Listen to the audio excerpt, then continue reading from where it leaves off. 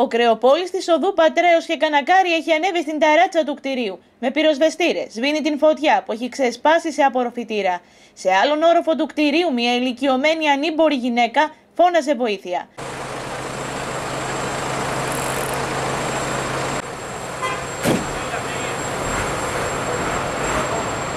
Τίποτα, πήρε φωτιά, ήταν, είχε πάρει ο πορφητήρα φωτιά.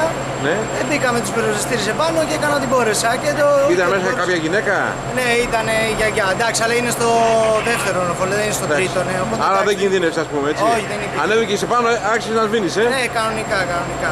Επιτόπου φτάνουν και πυροσβέστες. Δύο οχήματα με έξι άνδρες. Στο κέντρο της Πάτρας γίνεται πανικός.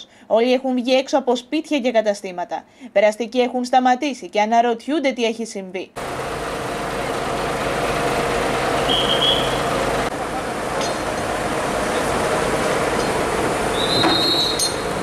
Τελικά οι πυροσβέστες θέτουν την φωτιά υπό έλεγχο και ευχαριστούν και τον Κρεοπόλη που με ψυχραιμία αντιμετώπισε την κατάσταση και περιόρισε τις φλόγες.